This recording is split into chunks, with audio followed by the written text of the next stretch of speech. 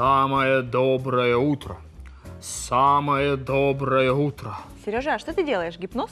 Да. А зачем? Ну, чтобы у всех было самое доброе утро. Самое доброе утро.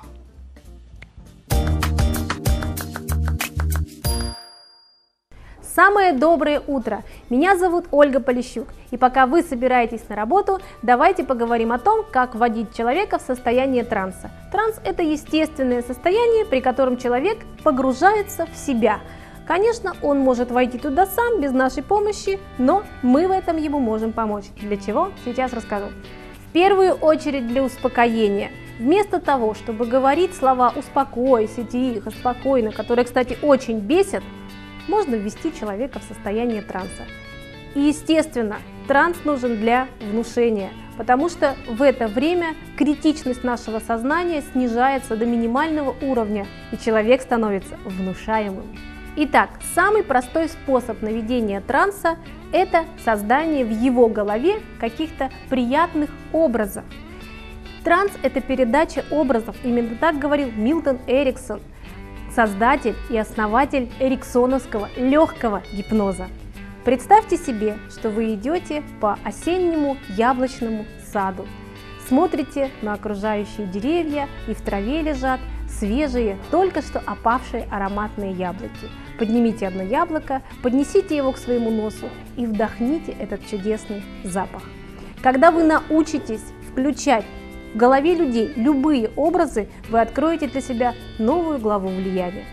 Второй способ – это сказки, притчи, истории, рассказы. Когда мы слушаем какую-то историю, мы обязательно ставим себя на место какого-то героя. И потом еще очень долго вспоминаем, прокручиваем в голове сюжет этой истории.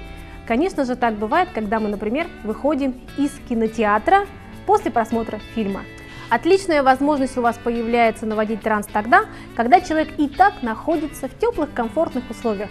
Например, сидит в уютном кресле или лежит у моря на песочке. В этот момент вы можете ему внушать все, что хотите. Очень хорошо наводить транс с помощью какого-то ритмичного звука. Например, вы включаете музыку, либо часы с громким тиканьем. Прекрасно подойдет просто кивание в такт его речам. А, а можно взять какой-то блестящий предмет, например, свои часы, и просто ритмично крутить ими, и в этот момент человек может входить в состояние транса. Замедление дыхания также приводит к тому, что человек погружается в транс. Этот фокус отлично проходит с детьми. Начинайте дышать вместе с ребенком а потом замедляйте свое дыхание, и он вслед за вами также будет это делать. Через какой-то момент после транса ребенок может просто уснуть крепким сном. Также быстрый транс можно наводить какими-то неожиданными вещами по отношению к человеку. Например, можно хлопнуть внезапно, либо дотронуться до человека. И в этот момент он испытает быстрое состояние транса. Кстати, после чихания, вот сразу-сразу после чихания человек тоже находится в состоянии транса. Поэтому расширьте свой репертуар и вместо «будь здоров» можете сказать «будь уверен», «будь богат», ну или «дай денег». Трансовое состояние можно наводить как на одного человека, так и на целую группу людей.